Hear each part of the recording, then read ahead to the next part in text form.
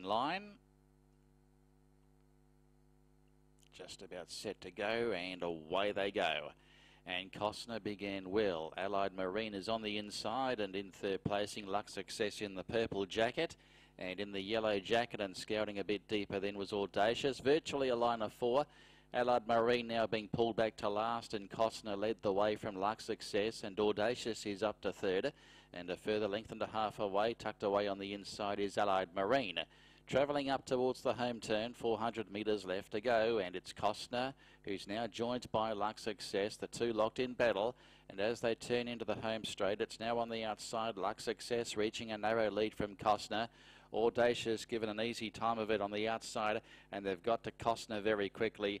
And it's in the first two. It's Luck Success holding on from Audacious, and then came Costner, followed by Allied Marine.